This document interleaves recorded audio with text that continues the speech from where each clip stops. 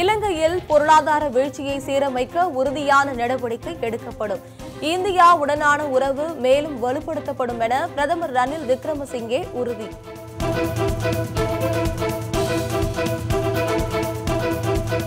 ராஜஸ்தானில் மூன்று நாள் சிந்தனை அமர்வு மாநாடு இன்று தொடக்கம்.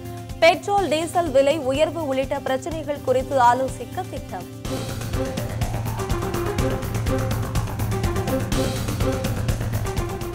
தமிழகத்தில் அடுத்த ஐந்து நாட்களுக்கு மழை பெய்ய வாய்ப்பு. நாளை பதினோரு மாவட்டங்களில் கனமழை பெய்யக்கூடும் என வானிலை மையம் எச்சரிக்கை.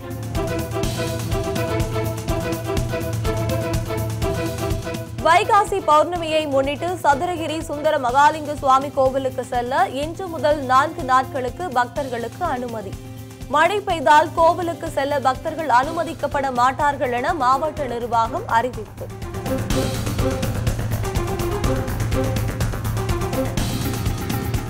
தமிழ்நாடு உள்பட பதினைந்து மாநிலங்களில் காலியாக உள்ள மாநிலங்களவை உறுப்பினர் பதவி இடங்களுக்கு ஜூன் பத்தில் தேர்தல். தலைமை தேர்தல் ஆணையம் அறிவிப்பு.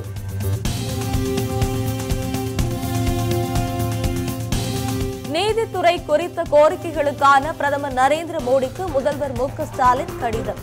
உச்ச நீதிமன்ற நீதிபதிகளை நியமிப்பதில் சமூக பன்முகத்தன்மையையும் கடைபிடிக்க வேண்டுகோள்.